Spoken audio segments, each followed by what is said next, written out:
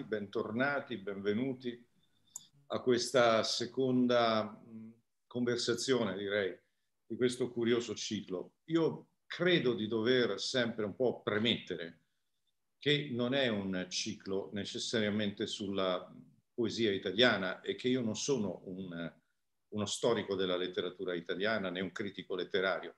La mia provenienza e il mio ambito sono quelli eh, musicali e quindi sotto un profilo musicale, da una prospettiva che è musicale, esamino la poesia, alcune cose della poesia italiana, alcuni episodi, alcuni elementi, alcuni, alcuni personaggi, alcune esperienze molto importanti. Ehm, come vi avevo già spiegato la prima volta, andiamo a ritroso, cioè cominciamo dalla fine e andiamo verso quello che non è un principio, perché se dovessimo terminare con il principio della poesia italiana, dovremmo arrivare alla scuola siciliana di, della corte di Federico II e affondare ancora indietro ai primi eh, esemplari di poesia italiana, ovvero di poesia in lingua volgare eh, in, in, Italia, soprattutto nell'area dell'Italia centrale centro-meridionale. Ma eh, ci fermeremo invece a, un, a uno dei secoli più interessanti e forse più belli della, del connubio fra poesia e musica in Italia, ovvero il 1600, che è anche il secolo dell'opera. Oggi passiamo per un poeta che è certamente fra i più importanti della nostra letteratura in generale e che è certamente anche fra i più significativi di tutto il Novecento, non solo in Italia, ma direi nel mondo. Un secolo, il Novecento, che ci ha regalato, per così dire, eh, molte voci poetiche significative nella letteratura italiana. Eh, pensiamo soltanto che vi piacciono o non vi piacciono, che ci piacciono o non ci piacciono, sono comunque presenze molto importanti anche a livello, a livello europeo e a livello mondiale. E pensiamo a eh, Gabriele D'Annunzio e anche al suo impatto molto forte sulla poesia e sul teatro, sul teatro francese, ma anche su tutta l'estetica dell'inizio del secolo, dell'inizio del Novecento. È una produzione poetica immensa. Pensiamo al contrario assoluto all'irruzione sulla scena del futurismo, Filippo Tommaso Marinetti e anche molti altri che poi prenderanno strade completamente diverse, eh, quali eh, ad esempio da un lato Luigi Russolo con la sua poesia dei rumori, che è molto anticipatrice eh, di tante cose che ritroviamo nell'avanguardia mondiale del secondo dopoguerra e al lato opposto, ad esempio, Giuseppe Ungaretti. Eh, e poi troviamo per l'appunto lui, eh, Eugenio Montale, che pubblica la sua prima raccolta nel 1925, Ossi di Seppia, poi troveremo Salvatore Quasimodo, Umberto Saba, ehm, Attilio Bertolucci.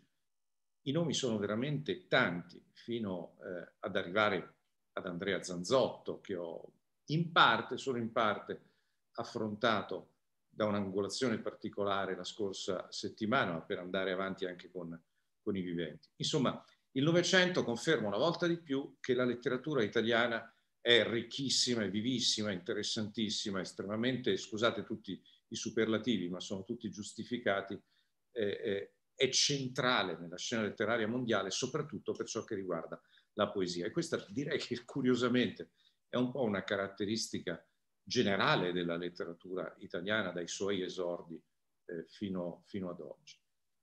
Eugenio Montale. Eugenio Montale io ho voluto definire un baritono fallito, ma non l'ho definito io. Si definisce lui un baritono fallito. Ora, come prima cosa vi invito, non era una buttade di Montale, c'è, c'è della, della sostanza, c'è della carne dietro questa strana eh, autopresentazione di un poeta che in definitiva nel 1975 eh, eh, ha vinto il premio Nobel per la letteratura e che fu nominato per meriti culturali eh, senatore a vita. La nostra Costituzione prevede che il Presidente della Repubblica possa nominare fino a un massimo di cinque senatori eh, a vita per meriti eh, in vari, in vari campi, ovvero che nel Senato vi possa essere un massimo di cinque senatori a vita. Eugenio Montale fu uno di questi, credo uno di quelli che ha, ha, ha servito più a lungo come eh, senatore, perché ha fatto, se non sbaglio, quattro o cinque legislature fino alla morte, e, iscrivendosi solo una volta al gruppo misto, invece in tutte le altre legislature si iscrisse sempre a un gruppo politico perché non aveva assolutamente alcuna remora a dichiarare quale fosse la sua simpatia e la sua ideologia. Eh, fu sempre dentro il gruppo del Partito Liberale, un partito, il nome dice tutto, ma in Italia ha una collocazione particolarmente moderata, ebbe perché è un partito che non esiste più. Quando il partito fu sciolto si passò al gruppo repubblicano, un gruppo molto simile per caratteristiche e ideologia. Eh, anche il partito repubblicano praticamente non esiste più. Ma oltre a questi meriti, Montale vide tutta la propria vita, che fu una vita molto ricca, una, una vita di giornalista, di recensore, di critico musicale, fu forse la sua attività eh, preeminente, a parte quella di, eh, di poeta, di traduttore, eh, un uomo in grado di padroneggiare tranquillamente tre lingue e di tradurre in maniera splendida da due, molto aggiornato su tutto quanto accadeva nella letteratura mondiale, fin dagli esordi, e di quanto accadeva nella cultura, nella cultura mondiale. Dicevo la boutade di dirsi un baritono fallito, ma effettivamente lo era. Non so se mancato, cioè non è mai divenuto un baritono, o fallito, nel senso che non era un buon baritono. Montale con il suo distacco ironico giocò molto su queste cose. Ora io vi, vi prego di immaginare una scena. Immaginate di essere negli anni 60 a Milano, nella redazione del Corriere della Sera a via Solferino, il più importante quotidiano nazionale allora ma anche oggi, e di essere un giornalista che risponde al nome di Indro Montanelli. Era considerato una delle figure più importanti del giornalismo e, e della scrittura in Italia, anche se scrisse saggi, non scrisse mai letteratura. È un uomo piuttosto vulcanico, toscanaccio eh, a pieno titolo, con una voce bassa, amante della battuta, molto innamorato di se stesso, della propria presenza, alto, praticamente non mangiava, magrissimo, molto austero. Entra nella propria stanza in redazione e vede che il suo compagno di stanza si lancia in, in questa cosa.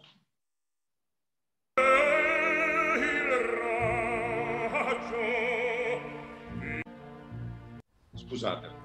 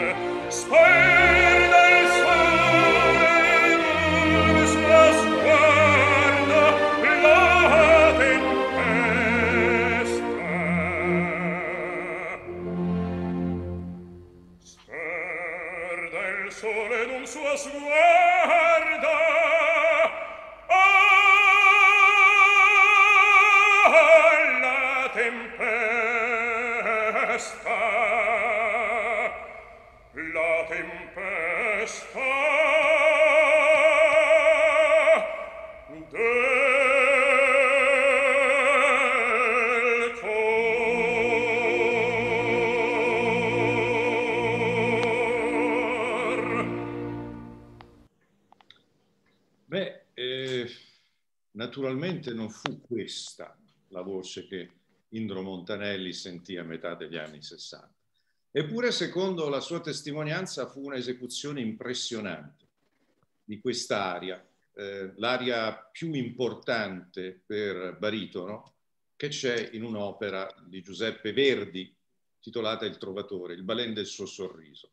È il Conte di Luna, è praticamente l'unica grande aria, l'unico grande cantabile, per essere più precisi, del Conte di Luna all'interno eh, dell'intera opera. Il Conte di Luna è la figura negativa per eccellenza eh, nel Trovatore di Verdi, anche se poi l'opera ne svela dei, dei lati eh, eh terribili e sconosciuti, terribili per lui, non solo eh, per tutti gli altri protagonisti. Questa è una dichiarazione di amore immensa per la donna, Leonora, che invece è amata da Manrico e ama contraccambia tale amore Manrico, il massimo rivale del conte di Luna, se non che poi si scopre alla fine dell'opera quando il conte di Luna fa eseguire, fa, fa, fa condanna a morte e porta la condanna a esecuzione eh, eh, di Manrico, eh, si scopre che Manrico, la zingara azucena, rivela al conte di Luna che ha eh, condannato a morte e fatto eseguire tale condanna nei confronti di suo fratello. Solo quindi le solite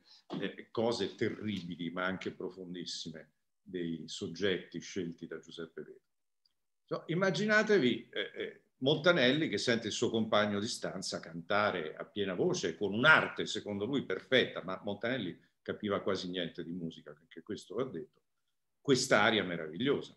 Il suo compagno di stanza al Corriere della Sera era Eugenio Montale, che era incaricato di scrivere il Zeviri, cioè articoli culturali un po' senza capo né coda, e soprattutto eh, di seguire la cronaca eh, musicale, in particolare tutto ciò che riguardava il teatro alla scala, cosa che lui faceva volentierissimo. Da dove gli veniva questa voce? Da dove gli veniva questa passione? Considerate che negli anni 60 l'uomo aveva per l'appunto all'incirca 60 anni. Adesso non ricordo esattamente l'anno in cui ciò avvenne e le stesse memorie di Montanelli non è che siano precisissime su questo punto. Eh, la passione gli veniva da, da quello che era l'humus, il, il, il, sostrato culturale della buona borghesia italiana di fine Ottocento. Montale nasce a Genova nell'ottobre, pensate voi, il 12 ottobre per un genovese, città di Cristoforo Colombo, è una data un po' particolare, eh, il 12 ottobre del 1895. E ehm, Durante le estati a Monterosso a Mare, all'inizio delle Cinque Terre, l'inizio proveniendo da Genova, eh, con i fratelli si divertiva a mettere in scena già all'età di 6-7 anni opere. E lui dice, fra il cantare queste opere di continuo, travestendosi con quello che trovavano in casa, uno scolapasta, eh, due tende dismesse, una tovaglia rabberciata, eh, fra questo, un pochettino di orecchio esercitato andando continuamente al Carlo Felice e in altri teatri genovesi e aggiunge con la sua consueta ironia, ricordatevelo, sarà sempre uno dei tratti più distintivi dell'uomo montale, del poeta montale, dell'uomo civile anche eh, montale, l'ironia, l'estremo distacco, il non prendere mai nulla fino in fondo sul serio, con tutte le implicazioni che ha. Con estrema ironia dice fra continuare a recitare sta roba in modi più o meno eh, ehm, improvvisati fra bambini prima e ragazzi poi, andare continuamente al Carlo Felice e aggiunge un paio di broncopolmoniti, mi era venuta una bella voce di basso. La passione per l'opera è, è, è fortissima, era un'epoca in cui nella, nella, buona società italiana spesso le persone dialogavano a base di battute dei libretti, che conoscevano tutti a memoria. E, ed era comunissimo in un'epoca in cui non c'era televisione, ma neanche fonografo o giradischi non parliamo degli strumenti moderni, né tantomeno computer, internet, nemmeno la radio, era normalissimo riunirsi a casa eh, di qualcuno e improvvisare, improvvisare, eseguire un'opera, eh, distribuendo le parti in vario modo. Ma Montale va un po' più in là perché la passione è molto forte. La passione è molto forte e allora comincia ad andare non solo costantemente al Carlo Felice, ma anche ad altri teatri e comincia a, anche a mostrare un certo talento. Questo talento viene notato, siamo veramente nel pieno del mondo operistico italiano con questi episodi, viene notato da un barbiere. I barbieri a quei tempi, oltre a fare i salassi e a eseguire piccole operazioni eh, eh dentistiche, ehm, erano anche i capi CLAC. Cos'era la CLAC? Un gruppo di fan organizzati che a pagamento, ma a volte per passione, non era mai chiaro il confine fra le due cose, andavano a teatro, occupavano il loggione e fischiavano o applaudivano a tutto spiano, a seconda di ciò che amavano, ma anche di quanti soldi aveva ricevuto il capo clac per applaudire o fischiare, far fallire la carriera di questo e quell'altro. Il capoclac poi lo dice, ma tu sei una voce mica male, lo presenta un baritono genovese, questo a sua volta dice no, io non posso per carità, lo mette alla prova su un'aria, guarda un po' che aria è, la grande aria di Fiengo del Simon Boccanegra, l'unica fra le grandi opere del repertorio che si svolge per intero ovviamente a Genova. E ehm, anche questa di Verdi e lo segnala a un certo maestro Sivori, Ernesto Sivori. Era un insegnante del Conservatorio di Parma, cioè proprio il tempio massimo della lirica italiana, e per anni Montale si recherà a casa del maestro Sivori a Parma, Parma non è lontanissima da Genova, eh, per, eh, per studiare. E il maestro gli ordina dei riposi fra una, fra una prova e l'altra, ma lui si sgolava, dice mi sgolavo tutto il giorno per esercitarmi per andare avanti, dice esplicitamente che aveva una estensione niente male, ma questo Sivori gli fa venire l'ossessione di un eh, baritono. A proposito, di quello che avevamo sentito prima, scusate, era Ettore Bastianini, eh, uno dei migliori conte di Luna mai figurati, in quella che secondo me fosse la registrazione più bella del Trovatore, diretta da Tullio Serafin, con Fiorenza Cossotto, la Stella e il grandissimo Carlo Bergonzi. Ehm, Siboli gli fa venire l'ossessione di un tal Navarrini, questo mitico baritono Navarrini, ha ancora la tua voce, non può neanche essere paragonata a Navarrini, Navarrini di qui, Navarrini di là. Il ragazzo si terrorizza di sto Navarrini. Quando poi, morto Sivori, eh, andrà a sentire finalmente una registrazione di Navarrini, scopre che era una mezza schifezza di, di baritono, ma oramai la decisione era stata presa e la decisione era che lo avrebbe abbandonato ogni velleità. In questo percorso però c'è una parte molto interessante, la ritroviamo nel suo diario eh, genovese, nel suo quaderno genovese. Dice Montali, io avrei preferito cantare le parti basso, basso, baritono, ma lui diceva che i bassi non fanno carriera cui voleva in pratica cantare le parti di quelli che nel Settecento si chiamavano bassi cantanti. Don Giovanni, ad esempio, e Leporello, entrambi sono bassi cantanti nella concezione settecentesca. Avrei dovuto fare, dice Montale, la parte di sparafuscile dal Rigoletto per tutta la vita, pagato male, in teatri di provincia, e mi diceva non diventerai mai Navarrini Piano piano, scrive Montale, mi andavo rassegnando a dire addio alla mia vecchia voce, sottolineo la parola voce, diciamo così psicologica. Non sarei più stato Boris Gadunov, non sarei stato più Gurnemans, uno dei protagonisti del Parsifal di Wagner, non più Filippo II, dal Don Carlos di Verdi. Bisognava dimenticare le note sotto le righe, i suoni sepolcrali dell'eunuco Osmin, il ratto del serraglio, e di Sarastro, il flauto magico. Il vecchio maestro era fermo su questo punto e neppure nel nuovo registro mi dava troppe speranze di poter portare un giorno il fez piumato di Iago nell'Otello o il monocolo e la tabacchiera di Scarpia nella Tosca. Aborriva il moderno che mi avrebbe trascinato alla rovina.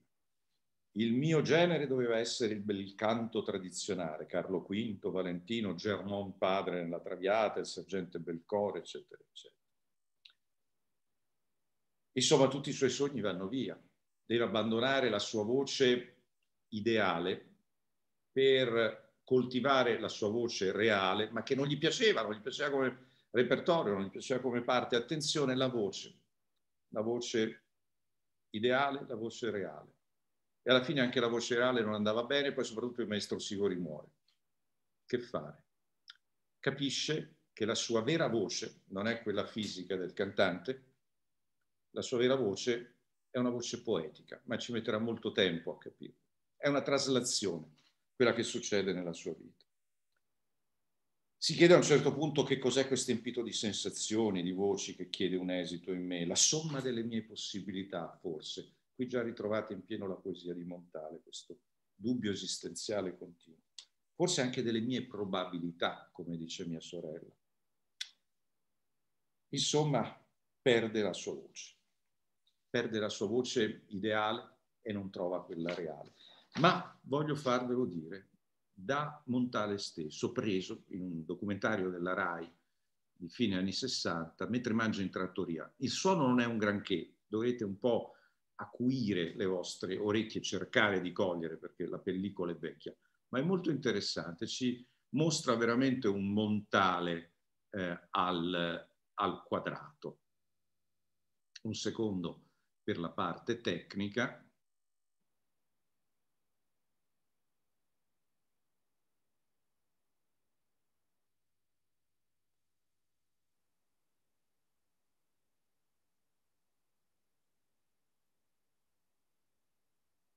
Ora non stanno fotografandoci, no?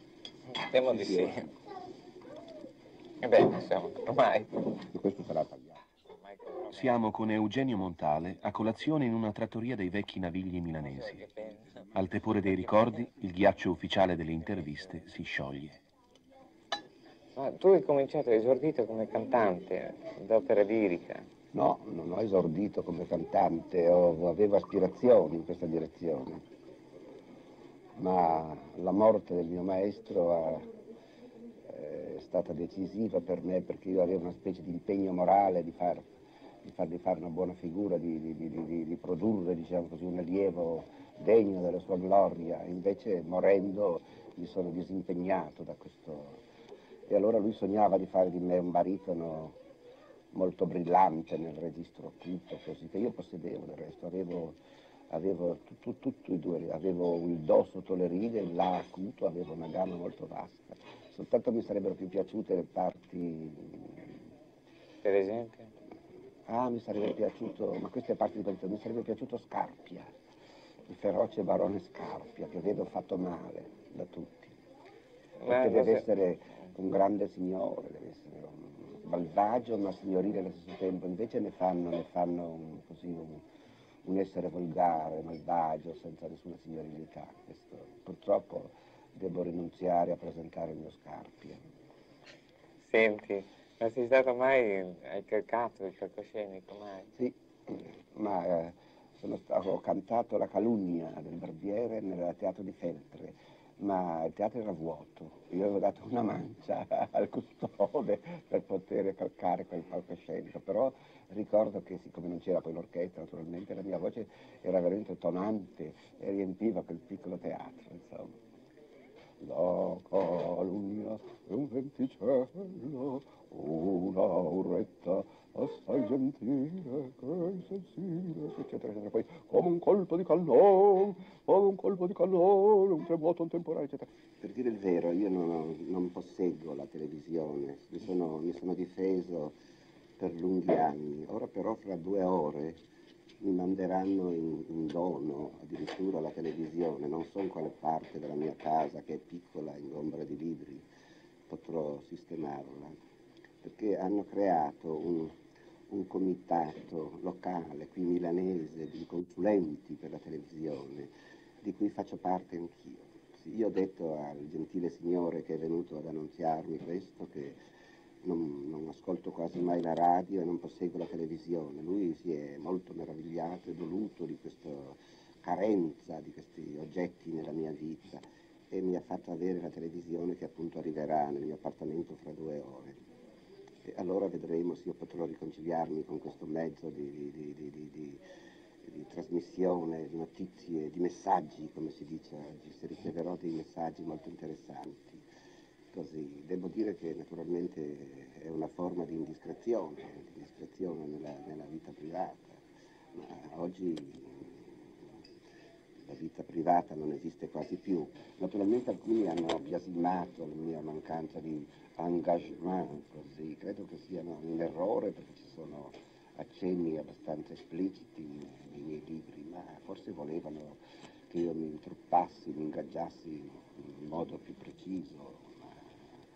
Io credo che se tutti fossero engagé nel senso ristretto della parola, il mondo sarebbe un serraglio spaventoso, molto più feroce di quello che oggi occorre che ci sia anche qualcuno che stia fuori del serraglio per vedere come si svolgono le cose. Dico. Montale passa ora all'incontro con Dylan Thomas, il poeta inglese morto in giovane età nel 1953. Venne a trovarmi, ma non venne perché fosse portato da grande amicizia e ammirazione per me, venne condotto dal suo traduttore Luigi Berti, che voleva farmi conoscere un poeta italiano. Lui però fu colpito da, così, da un'intuitiva, istantanea e intuitiva proprio antipatia per me. Quindi giunto in casa mia, mh, mm, qualche minuto prima di me, o non so, comunque non lo ricevetti io nel momento de, in cui entrò in casa mia. E lui eh, corse in una camera dove c'era un armadio e si chiuse dentro l'armadio e si rifiutava di uscirne finché io fossi uscito dalla mia casa. Finalmente fu tratto fuori dall'armadio e potrei parlargli un po' con qualche parola. Era naturalmente molto ubriaco. Poi l'ho trovato in una specie di gargota a Oxford dopo due o tre anni e ricordava vagamente il nostro incontro, però era talmente ubriaco anche quella volta che non ho scambiato alcuna parola con lui. E, e Samuel Beckett? Samuel Beckett l'ho incontrato una volta a Parigi, ma non, non, ho, non, ho, non ho, Io le presentazioni si fanno così, i nomi sfuggono, credevo che si chiamasse Prickett, che aveva, che aveva tradotto mie poesie in una rivista di, tipo paundiano che si chiamava This Quarter cioè questo quadrimestre. Così e dissi, se lei è Prickett, se, lei, se qualora lei fosse eventualmente Prickett, io dovrei aver motivo di ringraziarla. Lui disse bruscamente, non ha nessun motivo perché io sono Beckett. E come pittore? Ah, la pittura è stata così una violon d'ingre. Io veramente ci tengo molto ai miei quadri, anzi io sospetto che i miei quadri un giorno saranno la sola mia produzione valutata, insomma. Siccome mia moglie e anche la mia gentilissima Gina dicono che nel piccolo appartamento i colori a olio puzzano e poi sporcano soprattutto, mi sono dedicato a, a dipingere con dei piccoli gessi scolastici così, che poi però soffio con lo spruzzatore per fissare. Come avete sentito, eh, l'uomo non si prendeva mai definitivamente serio eh, aveva sempre una, una visione, come dire, estremamente diminutiva di se stesso.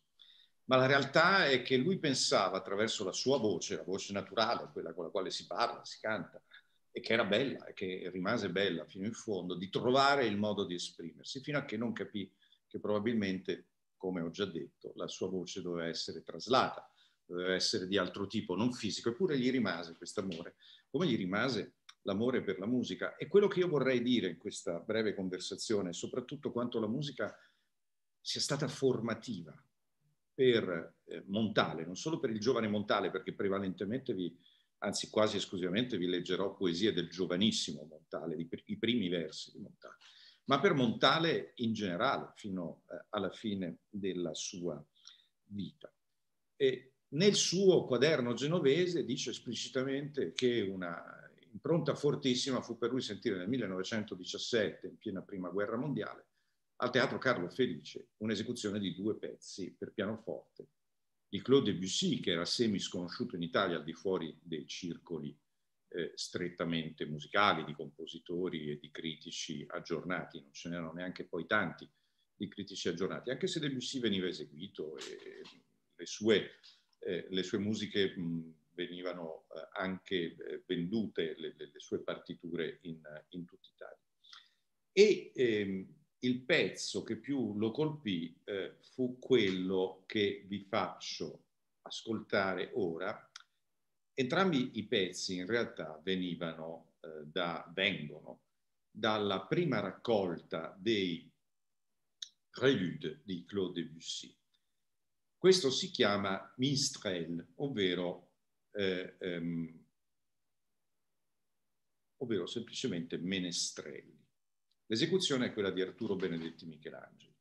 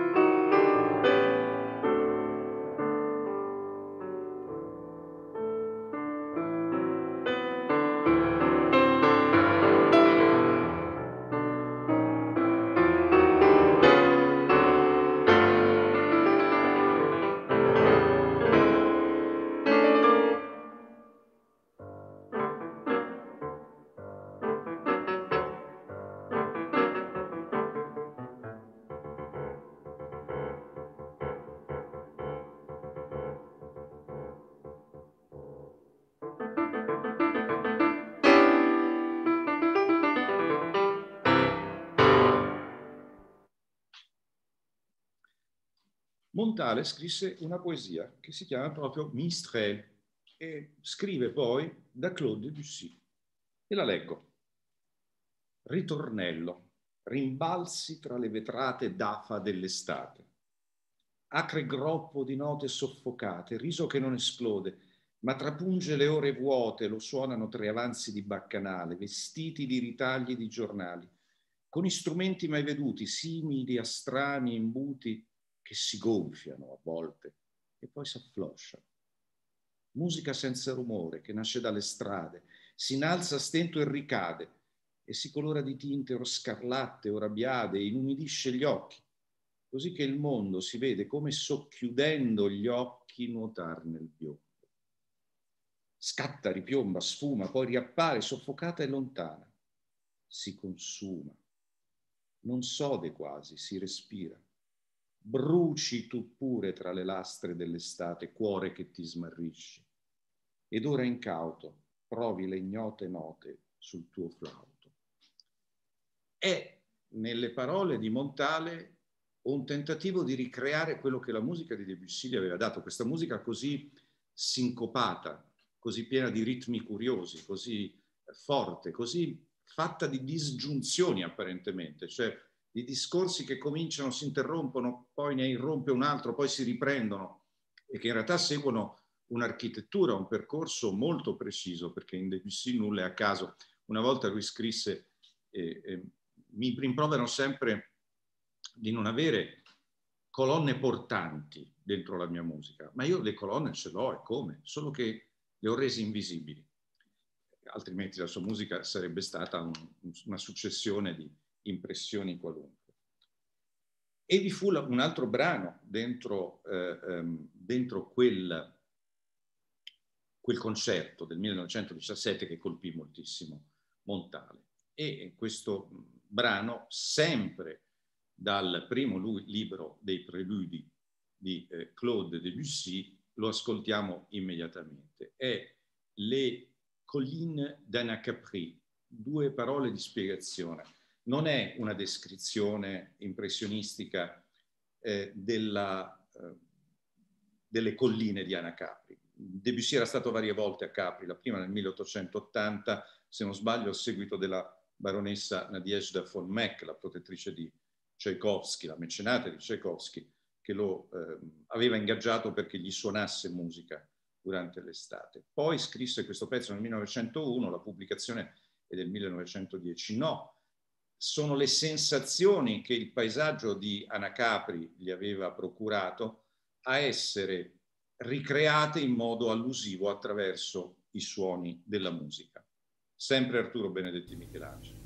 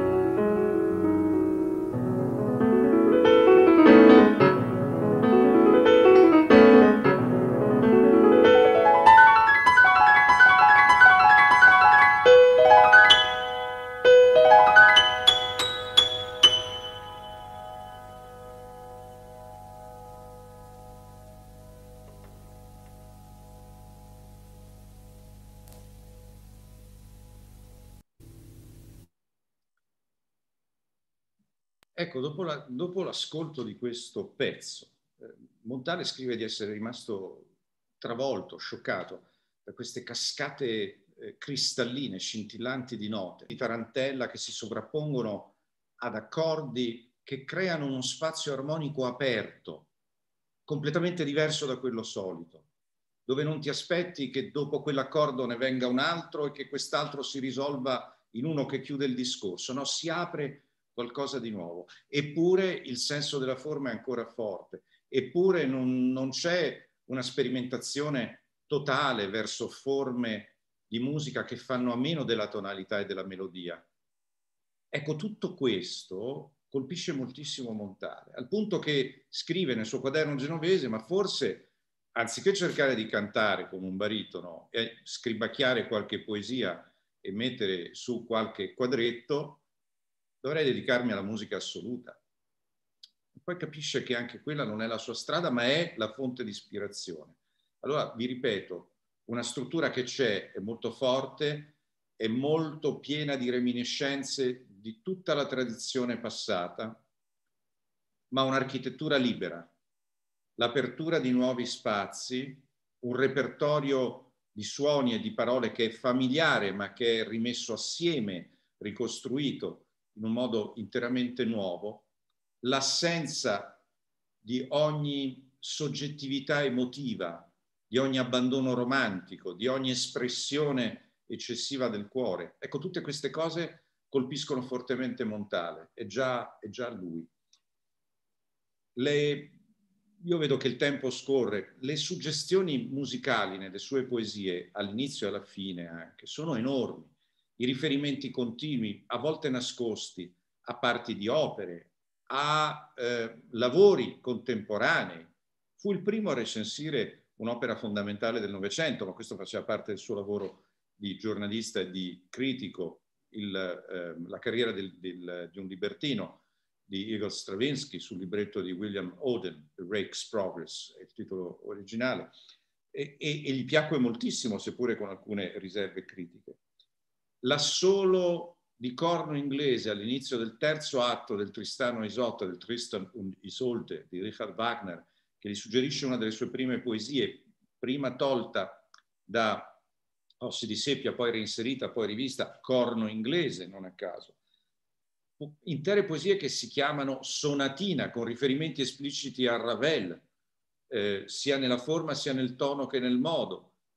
Quasi una fantasia, ovvero la sonata Quasi una fantasia, opera 27, numero 2, cosiddetta Chiar di Luna di Ludwig van Beethoven, della quale riprende alcune particolarità formali Insomma, è un continuo, come posso dire, gareggiare, competere, riecheggiare quanto avviene nella musica come fonte di ispirazione per la poesia e non il contrario.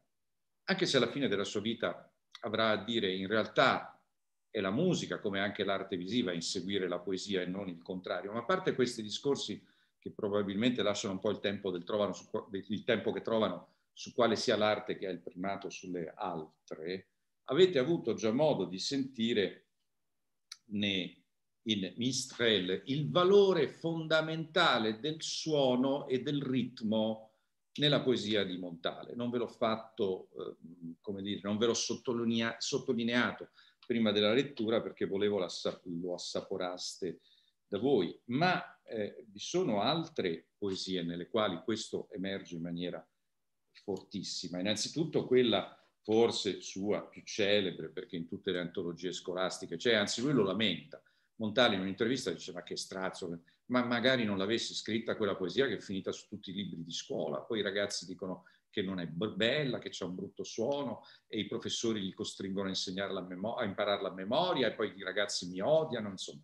Si tratta di, eh, eh, di questa e la, sicuramente la conoscete ma cercate di apprezzare quanto l'uso attento delle parole e del ritmo rievochi le immagini che eh, eh, già nel suono rievochi quelle immagini che sono presenti nella, in questa poesia.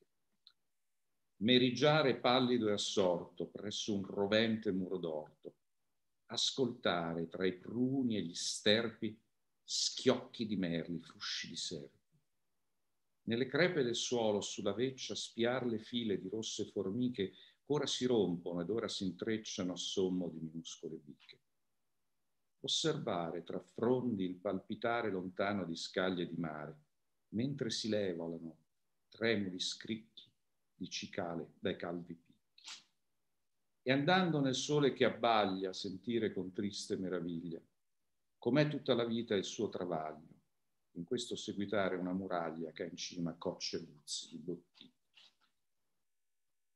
Questo Merigiare pallida sotto non ha un titolo, quindi si prende il primo verso, è in realtà uno dei più forti esempi di poesia onomatopeica, cioè dove il suono delle parole eh, rievoca le immagini che vengono usate all'interno della poesia italiana.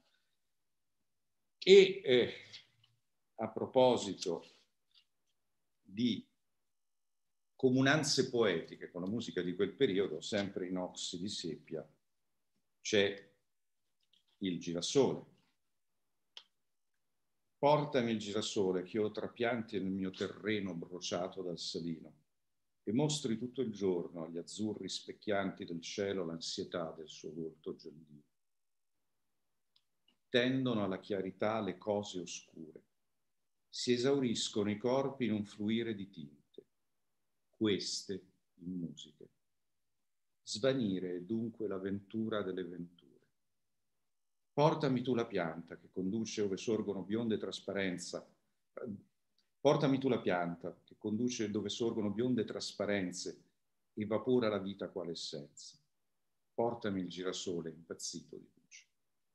Questa idea che le cose oscure divengano chiare, che i corpi divengano, si stemperino in un fluire di tinte, cioè quanto vi è di più materiale diviene una serie di tinte che trascolorano l'una dell'altra, che queste tinte divengano musica, cioè si parte dal materiale e si finisce al massimo dell'immateriale, si parte dal corpo che diventa tinta, tinta cangiante e questa tinta diventa musica, suono, quindi quasi immateriale svanire dunque l'avventura delle venture, torna quella perenne eh, eh, ironia e incertezza esistenziale di Montale, l'incertezza e l'impossibilità di definire l'esistenza, ma potentissimo è il richiamo alla musica come immaterialità che trascolora tutto.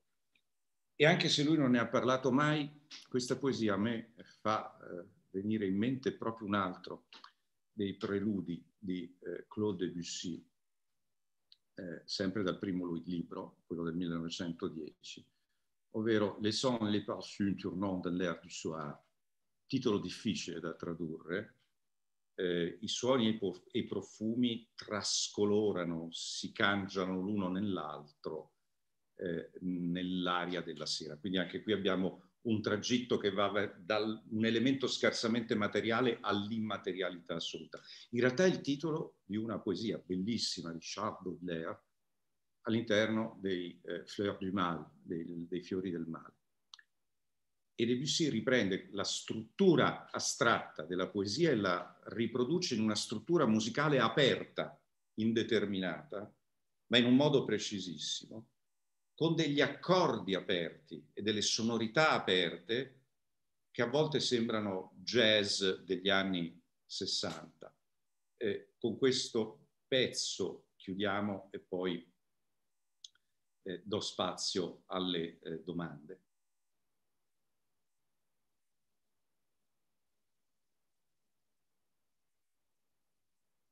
Naturalmente è sempre Arturo Benedetti Michelangeli.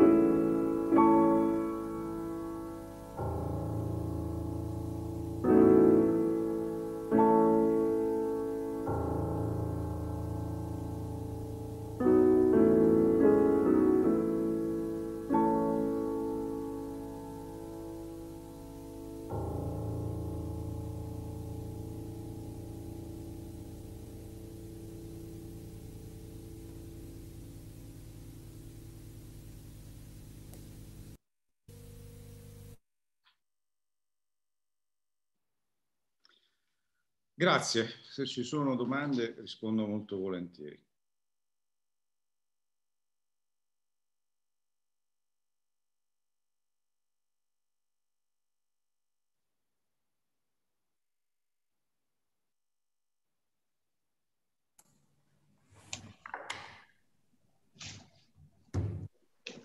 Non ci sono domande.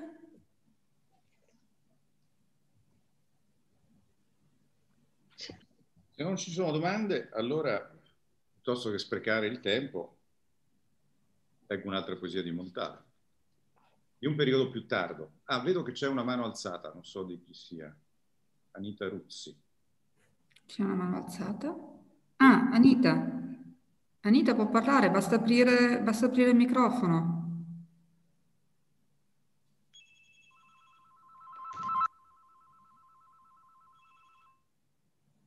Anita? Domanda, Mi sentite? Sì. E eh no, ha chiuso di nuovo il microfono. Sentite? Sì. Ecco, volevo sapere una cosa. Innanzitutto volevo ringraziare il signor Torrefranca, che non conoscevo, per la straordinaria cultura, capacità e competenza culturale, musicale, poetica e anche per il, forse potrò apparire un po' stupida, però per il senso di grandissima pace e armonia che mi ha dato il sentirlo parlare di tutte queste cose, come se la serenità che la poesia e la musica ispirano si fossero impresse anche nel suo modo di parlare. Quindi comp- questi eh, complimenti vivissimi. Fatto ecco questa premessa, volevo chiedere una cosa e mi scuso se la domanda può sembrare stupida. Allora, si può dire per quanto riguarda le poesie di Montale, che egli nelle sue poesie abbia, come dire, ricreato la, a livello poetico le stesse architetture, le stesse strutture, riproposto le stesse architetture che, che Debussy ha proposto nei suoi preludi? Può essere, diciamo, è giusto fare, non dico proprio un paragone, ma perlomeno un confronto? Ecco, volevo sapere questo.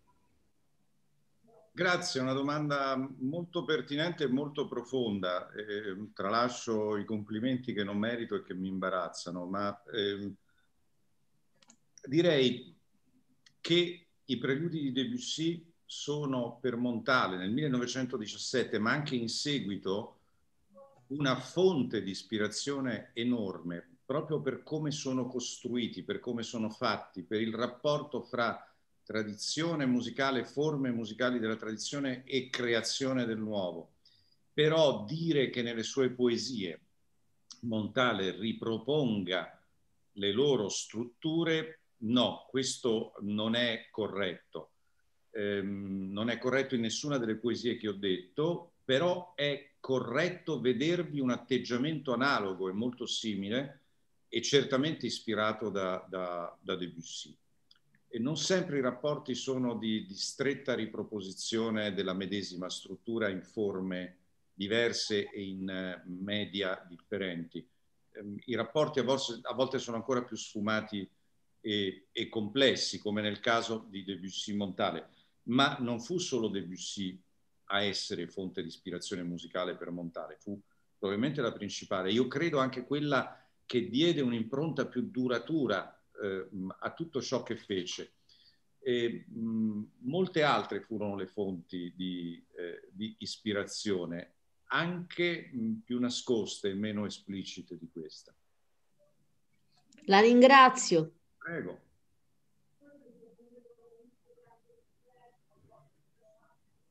Se Paola mi dà il permesso, io leggerei quest'altra poesia che è ben più certo che rientra fra le, quelle che Montale chiama poesie disperse, cioè non finirono in nessuna raccolta, lui le, le cassò, cestinò, aveva imbarazzi, ma poi le riprese e le pubblicò tutte assieme. Guarda caso si chiama Sonatina di pianoforte. E sempre questo tono intimo del Montale schivo, attento all'esistenza nel suo farsi quotidiano e non a, a grandi voli ideologici. Direi, no? Vieni qui, facciamo una poesia che non sappia di nulla e dica tutto lo stesso e sia come un rigagnolo di suoni stentati che si perde tra le sabbie e vi muore con un gorgoglio sommesso. Facciamo una suonatina di pianoforte alla Maurizio Ravel, una musichetta incoerente ma senza complicazioni, che tanto credi proprio a grattare nel fondo non c'è senso. Facciamo qualche cosa di, virgolette, genere leggero. Vieni qui, non c'è nemmeno bisogno di disturbare la natura con i suoi seriosi paesaggi, le pirotecniche astrali. Ne tireremo in ballo i grandi problemi eterni, l'immortalità dello spirito o d'altrettanti carburi. Diremo poche frasi comunali, senza grandi pretese da gente oramai classificata, gente priva di virgolette profondità. E se le parole mi mancheranno o ci mancheranno, noi strapperemo il filo del discorso per svagarci in un minuetto approssimativo che si disciolga in arabeschi d'oro, si rompa in una gran pioggia di lucciole e di spaia, lasciandoci negli occhi un pullular di stelle, un'ossessione di luci.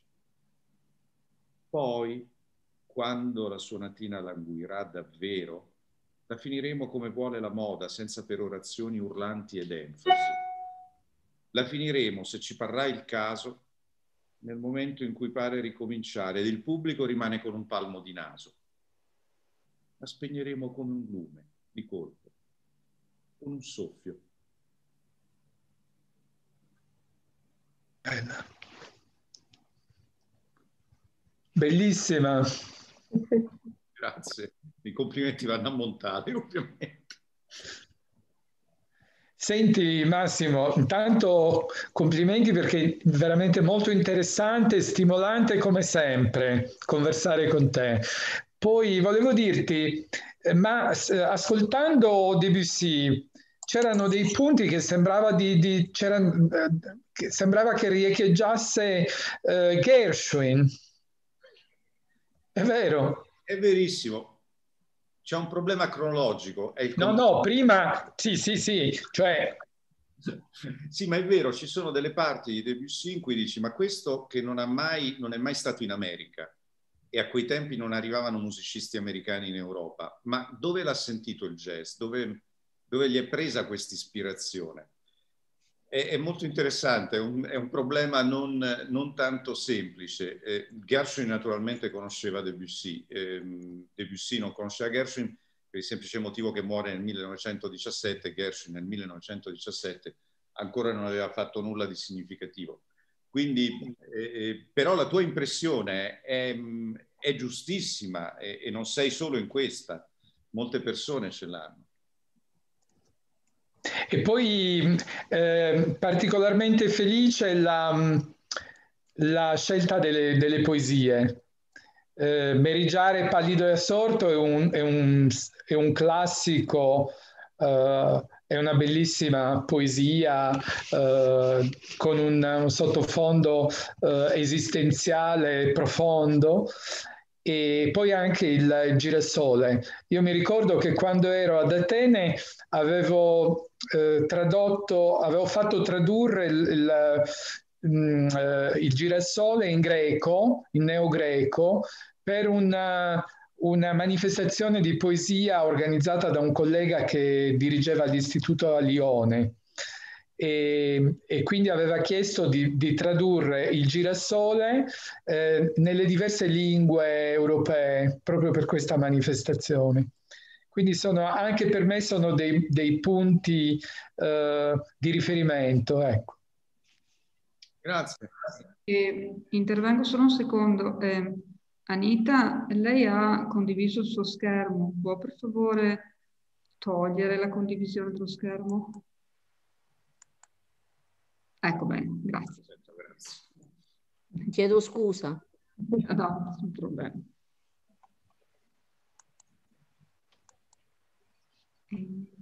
Bene, eh, ci sono domande ancora? Perché se non ci sono domande, allora... Eh, Un'ultimissima cosa, ma proprio a livello di informazione, questa vostra conferenza, lo so che è nell'ambito delle conferenze sui rapporti tra musica e letteratura, conferenze che io apprezzo, ammiro veramente, mi piacciono infinitamente. Nel caso specifico di Montale, il fatto che sia siano trascorsi, che siano 40, che il 2001, 21 sia il quarantennale dalla sua morte, ha diciamo una qualche collegamento col, fatto che questa conferenza sia stata dedicata a lui? Eh, no, eh, devo dire la verità che io ho fatto caso a questo anniversario dopo che già avevamo programmato tutto. Ah, quindi... La ringrazio.